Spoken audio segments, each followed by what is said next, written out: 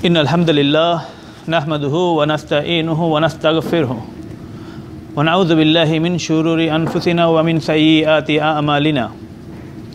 من يهده الله فلا مضل له ومن يضلله فلا هادي له. وأشهد أن لا إله إلا الله وحده لا شريك له. وأشهد أن محمدا عبده ورسوله. صلى الله عليه على آله وأصحابه وسلم تسليما كثيرا. يا أيها الذين آمنوا اتقوا الله حق تقاته ولا تموتن إلا وأنتم مسلمون. يا أيها الناس اتقوا ربكم الذي خلقكم من نفس واحدة وخلق منها زوجها وبث منهما رجالا كثيرا ونساء واتقوا الله الذي تساءلون به والأرحم إن الله كان عليكم رقيبا يا أيها الذين آمنوا اتقوا الله وقولوا قولا سديدا. يصلح لكم آمالكم ويغفر لكم ذنوبكم. ومن يطع الله ورسوله فقد فاز فوزا عظيما. أما بعد فإن خير الحديث كتاب الله وخير الهدي هدي محمد صلى الله عليه وسلم وشر الأمور محدثاتها وكل محدثة بدعة وكل بدعة ضلالة وكل ضلالة في النار. أعوذ بالله من الشيطان الرجيم. Bismillahir Rahmanir Rahim. Rabbi রাহলি Sadri ওয়া ইয়াসিরলি আমরি ওয়াহলুল উদ্দাথামি milisani yafkahu কাউলি All praises due to Allah subhanahu wa ta'ala to whom we worship, to whom we ask for forgiveness and we ask help. May Allah's peace, mercy and blessing be on the last prophet Muhammad sallallahu alaihi wasallam and his family and his companions and all those who follow his sunnah until the last day. Another blessed month of Ramadan is approaching us when we all, all of us wait eagerly for the month. However, we also indulge and engage into some controversies before the month and while it is going on. One of the major controversies, controversy and major conflict, and I should say differences of opinion, occurs regarding to the moon sighting. And the Ummah seems to be divided in the issue. This issue has been differed upon for 40, more than 1400 years.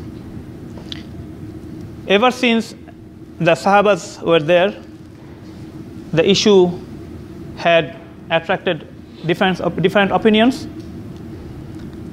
And if we analyze, there are three major types of difference. One group, they say that to start a month of Ramadan or be it the month of Shawwal, the sighting of the moon is an essential. What that means is they claim that you have to see the moon to start your fast, i.e., the month of Ramadan, and to end it. And they have evidences of that. Another group, they say that if one moon is visible throughout the world, then it's upon all the Muslims to start Ramadan or Eid on the basis of that. So, what effectively they're saying that you have to observe the Ramadan or the Eid al-Fitr on the same sighting of the moon, wherever in the world it has been seen. And they have got evidences. And funny enough, both of the groups have the same evidences. The verse of Surah Baqarah 189 and the hadith of Rasulullah sallallahu alaihi wasallam which comes in Bukhari and Muslim. There is another group. They have taken another approach that they will start their Ramadan or Shawwal according to the time when they start in Mecca or Medina. So this is the third opinion. And they have got uh, some evidences too. Now, throughout the history of Islam, the scholars has differed, but they have been agreed on something. they have, they have agreed on that, that the differences in rising of the moon is there. So they have been united on the differences of moon rising times. It's called ikhtilaful matala. That means the moon rises in different times. So they are totally united on that issue. However, they differed if that differences in the time of moon has any bearing in the issue or not. Seems uh, a little bit complicated. However, um, it's only theoretical. It's not. For example, Imam Shafi and some other scholars, they had the opinion that since the time of the moon rising, it varies when it's in, uh, uh, in United States, America, when it rises, that doesn't really match with the time maybe in Asia. So the, the differences of time in rising the moon has an effect how we should start Ramadan or not. So his opinion and the other scholars' opinion around him was that it has to be local sighting. So you have to see the moon and then you start the month. If you do not see, then you complete 30. The basis of it is the hadith mentioned in Bukhari and Muslim that when you see the moon, start fasting. Start fast when you see the moon and stop fasting when you see the moon. And if you cannot see the moon because it's cloudy, then complete 30 days. In another narration, it says complete the numbers, which means the counting. Where other scholars like Imam Abu Hanifa, Imam Ahmad ibn Hanbal, Imam Malik, and some, uh, some, of Imam, uh, some of the students of Imam Malik, they had the opinion that one rising of the moon would be sufficient for the whole world. There are more number of scholars in this um, side. However, if we analyze and if the, when the scholars went into in deep in details, they found out that the previous one, the local sighting, is the stronger evidence. Option number three, where some people start their Ramadan on the basis of Makkah and Medina, this is the weakest of all the opinions. That is the weakest. So the scholars do not you know, endorse this. However, in extreme circumstances like in Norway or Sweden or wherever it is sometimes necessary, then it is permissible to do so. But the other two, since they have used the same Quranic verse and the same hadith as an evidence, so this is called a legitimate difference. So the difference in this opinion is a leg- legitimate difference. And it then becomes to the authority to accept one of them. Now, ideally, the scholars, according to the um, proofs and everything, they found out that local sighting is the best option. Uh, we will not go into too much details in this, but uh, one um, each will, inshallah, explain that the main main argument of the people who wanted to observe one day for the whole ummah, that means one sighting anywhere in the world, their major evidence on the basis of that hadith, they said that when it says fast, when you see the moon, this is general. So it actually applies for throughout the world, all the Muslims, because it didn't say for a locality. But on the contrary, if you look at other orders, like when you break the fast, you do the iftar. Order is when uh, the darkness comes, then you break your fast. Now, it also doesn't specify any any certain group and certain locality. So that also applies to general. So that doesn't really mean that when in Bangladesh someone uh, at, uh, when they have got 5:30, they see the darkness and they start iftar. Some on the other side of the world they should do the iftar even though it's noon. It's not like that. So that argument is not strong. There are people they will try to defend it, saying that one is sun based, one is moon based, but it is not also a valid argument because both has differences of rising rising. So that argument doesn't exist. And on the support of local sighting, there is another hadith of Abdullah ibn Abbas, uh, of, of Quraiba narrated about Abdullah ibn Abbas anhu. So Quraiba was in Syria, in Damascus, he went, and then Muawiyah was the governor there.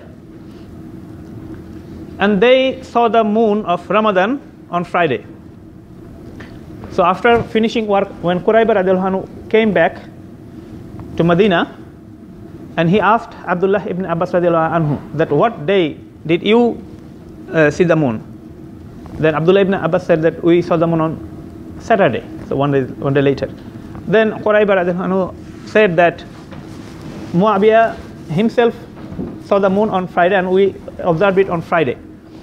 Then Abdullah ibn Abbas said that no, we will stick what we have seen because Rasulullah sallallahu alaihi wasallam has advised us doing so. So that, that actually is an evidence that if someone observes in one day and start the month on the basis of that, on the other side of the world or where uh, that uh, is too far, it is acceptable to have it on a separate day. And if you look into the history, Muslims always had different days for Ramadan or Eid in different parts, and that didn't really harm their unity at all. So, some people will try to argue that Abdullah ibn Abbas' hadith, that is his own opinion, which is not because he mentioned Rasulullah's name. So, it's a marfu hadith. According to Usul hadith, this order goes to the order of marfu, which can be related to Rasulullah sallallahu alaihi wasallam. However, our intention here is not to push one over another at this point because at the scholar, as the scholars has clarified it that both of them have the same dalil hence it is a legitimate difference and whoever is the authority in the islamic countries there there be legitimate islamic um, rulers or legitimate islamic bodies or islamic foundations it would be whatever they decide whichever method they use people needs to follow them. The problem arises outside these sort of countries, like non-Muslim countries, like uh, America, North America, Australia, and these sort of countries where there is no Islamic government. And then there is no Islamic body that can issue things, and everyone is bound to follow that. There is, uh, the situation is not like that. So the scholar said that in this sort of circumstances, if you have a Muslim associations or something that actually can work and take place of the authority. So if you have a state or an area and they have got a legitimate Islamic body such as a few imams get together, form an imam council or form a moon sighting committee for that certain area, then their decisions should be followed. Some people, however, they think that if they have made a wrong decision, say for example, they, the Imam Council didn't go through these processes, they have taken up a date and said that this is the starting date. So it's a sunnah. We are not going to follow that. I have seen, I have not seen the moon. I am not going to fast. People has come into this sort of experiences before what does the scholar say about it? The scholars mention another hadith. The hadith is found in Tirmizi, uh, Abu Dawud, uh, Ibn Majah, and this hadith has been authenticated. It's a Sahih hadith. Says that fasting, Ramadan starts on fasting. So fasting is the day when everyone start fasting. Eid al-Fitr is on the day that everyone break the fast, which is mean the Eid al-Fitr. And Qurban is on the day sacrifice when everyone does the Qurban. So what it means is, in this regard, you have to go through, you have to go with the authority, the majority, when everyone does it. And on, on the basis of that, scholar says that it is not permissible for anyone to go against the decision of the authority. In this regard, uh, they issued two also two different fatwas. One of them is they, was, they were asked that if I myself go there and saw the moon of Ramadan or Shawwal and I notified the authority, but the authority didn't take my word. The reason maybe they wanted they from a different madhab who required two witnesses, or they might have not, you know, uh, recognized me as a you know true person. Whatever, they didn't take my word. So they decided that the moon has not been seen, so they didn't start fasting. From that day, it will be the next day. So what, in this case, I can do? The scholar said that even though you are 100% sure that you saw the moon, still in these circumstances, you have to refrain from or your individual decision. Rather, you go with the authority's decision.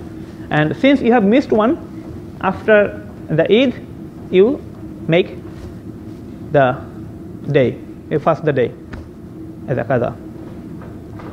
So that clearly says that even you are 100% sure that you saw the moon.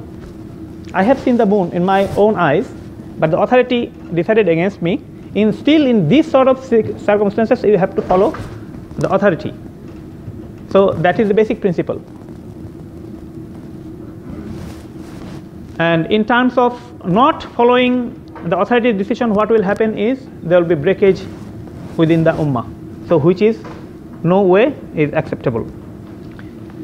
بارك الله لي ولكم في القرآن العظيم ونفعني وإياكم بما فيه من الآيات وذكر الحكيم أقول قولي هذا أستغفر الله لي ولكم ولسائر المسلمين والمسلمات فاستغفره إنه غفور بارو رحيم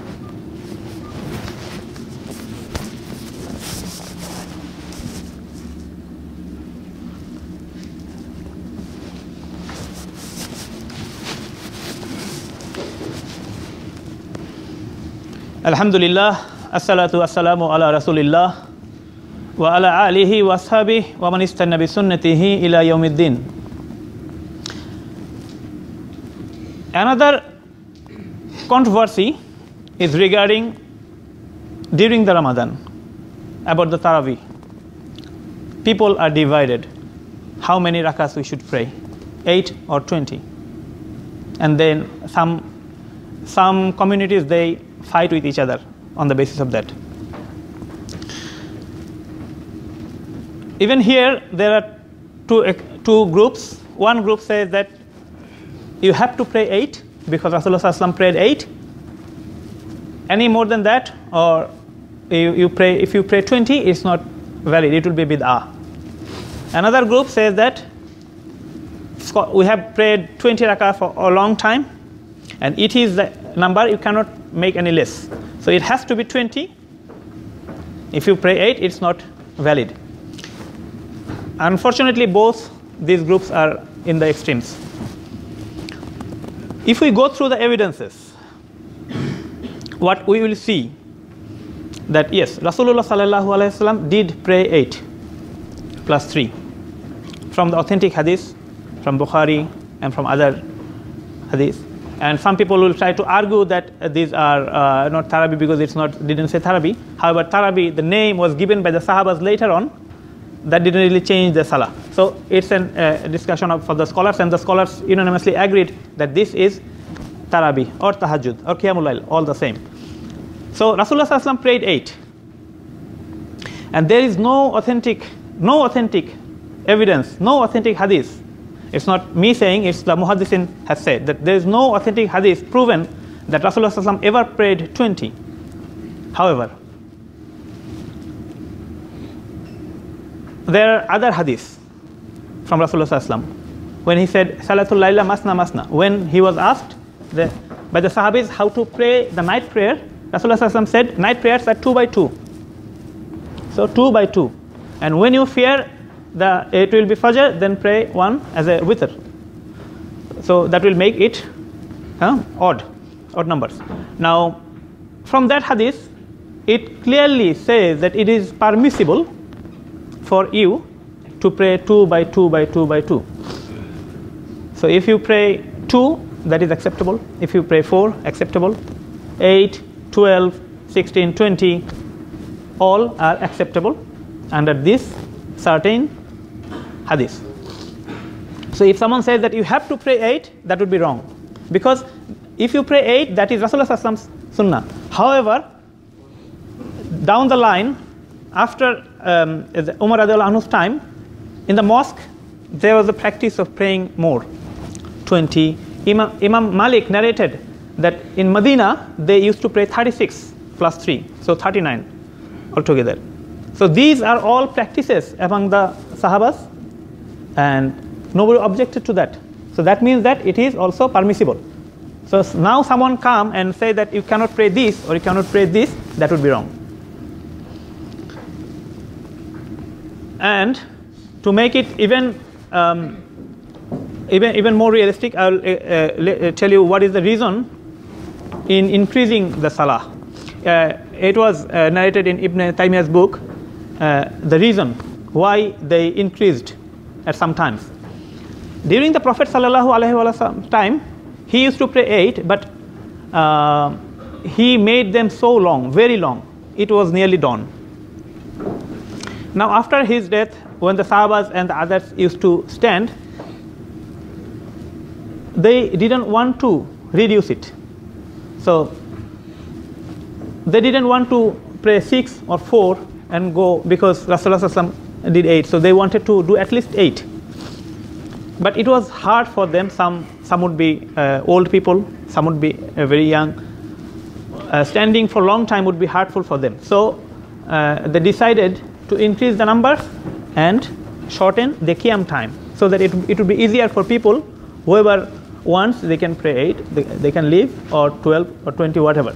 So that was the basic reason behind increasing and since it was under the permissibility of 2 by 2 it was acceptable. So we really should not argue about this at all because both are accepted. Not only both all the options are accepted because rasulullah has given the authority by saying the night prayer is 2 by 2 hope that inshallah we will um, be united in these matters and we will respect every legitimate differences and respect each other uh, opinions and do not in, engage into too much extremism may allah help us in these matters إن الله وملائكته يصلون على النبي يا أيها الذين آمنوا صلوا عليه وسلموا تسليما اللهم صل على محمد وعلى آل محمد كما صليت على إبراهيم وعلى آل إبراهيم إنك حميد مجيد. اللهم بارك على محمد وعلى آل محمد كما باركت على إبراهيم وعلى آل إبراهيم إنك حميد مجيد. اللهم انصر المسلمين وفي فلسطين وفي العراق وفي أفغانستان وفي برما وفي كشمير وفي مصر وفي بنغلاديش وفي نيجيريا وفي كل مكان ربنا آتنا في الدنيا حسنة وفي الآخرة حسنة وقنا عذاب النار. ربنا هب لنا من أزواجنا وذرياتنا قرة أعين واجعلنا للمتقين إماما. ربنا اغفر لنا ولوالدينا وللمؤمنين يوم يقوم الحساب. عباد الله إن الله يأمر بالعدل والإحسان وإيتاء ذي القربى وينهى عن الفحشاء والمنكر والبغي يعظكم لعلكم تذكرون. فاذكروني أذكركم واشكروا لي ولا تكفرون. أقيموا الصلاة.